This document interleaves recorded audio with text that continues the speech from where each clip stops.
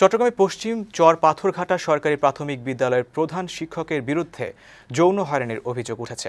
হয়রানির শিকার হওয়া তিন শিক্ষার্থীর স্বজনরা সোমবার রাতে কর্ণফুলী থানায় প্রধান শিক্ষক আবু হাশেমকে আসামি করে মামলা দায়ের করেন।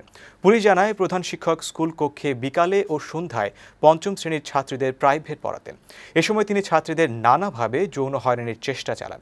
সম্প্রতি ছাত্রীরা তাদের স্বজনদের বিষয়টি জানালে স্বজনরা থানায় মামলা করেন। অভিযোগ পাওয়ার পর শিক্ষকের বাড়িতে গিয়ে তাকে পাওয়া যায়নি বলে জানিয়েছে পুলিশ।